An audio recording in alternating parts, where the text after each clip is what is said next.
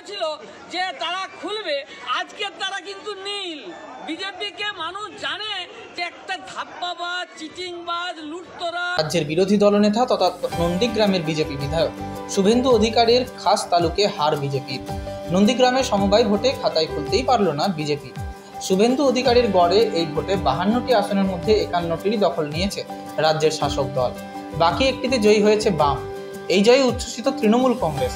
অন্যদিকে এই ফলাফলে স্বাভাবিকভাবে হতাশ বিজেপি। নন্দীগ্রামে বিজেপি মাত্র তিন চার শতাংশ ভোট পেয়েছে। কাথি তিন ব্লকের মারিসদাই সবক্তিতেই জয়ী তৃণমূল। উল্লেখ্য যে বিরুলিয়া গত ভোটে শুভেন্দুকে বিরাট লিড দিয়েছিল, সেখানেই এবার নিশ্চিহ্ন শুভেন্দু ম্যাজিক গত বিধানসভা ভোটে রাজ্য জুড়ে জয়ের ধ্বজা ওড়ালেও নন্দীগ্রামে জয়ের মুখ দেখেনি তৃণমূল। তাই এবার সমবায় সমিতির ভোটে কি হবে, তা নিয়ে উত্তেজনা ছিল তুঙ্গে। নন্দীগ্রাম দু নম্বর ব্লকের হানু ভূঁইয়া শিবরামপুর ও ঘোলপুকুরিয়া সমবায় কৃষি উন্নয়ন সমিতির মোট আসন বাহান্ন। মোট ভাটার দু হাজার দু পাঁচশো চৌষট্টি জন। বাহান্ন আসনের একটিতে আগেই বিনা প্রতিদ্বন্দ্বিতায় জয়ী হয়েছিল তৃণমূল। রবিবার ভোটের ফল বেরোতে দেখা যায়, বাকি একান্নটি আসনের মধ্যে পঞ্চাশটিই গিয়েছে তৃণমূলের দখলে। একটি আসনে জয়ী হয়েছে বামেরা।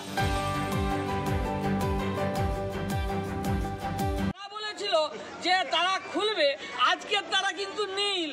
বিজেপিকে মানুষ জানে যে একটা ধাপ্পাবাজ, চিটিংবাজ, লুটতরাজ মানে যা কিছু বলা যায়, কত প্রতিশ্রুতি দিয়েছে দেয়নি।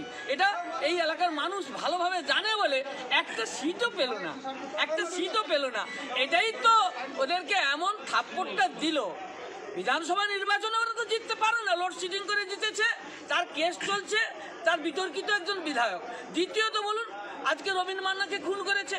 রঙ্কিনপুরে কীভাবে সন্ত্রাস করেছে, ওর সন্ত্রাস ছাড়া ভোটে জিততে পারে না। এই সমবায় সমিতিতে ওর মতন লোক এসে দাঁড়াক, যদি না হারাতে পারি, আমি রাজনীতিতে ছেড়ে দেবো। আর ও তো বারবার বলে যে, আমি রাজনীতি ছেড়ে দেবো। ওর জীবন দশেও পারবে না। ওকে অমিত শাহর পায় না ধরে থাকলে ওকে ও অনুব্রত মণ্ডলের মতো, ওকে পার্থ চ্যাটার্জির মতো, ওর চেয়ে বেশি দিন ওকে জেল খাটতে হবে।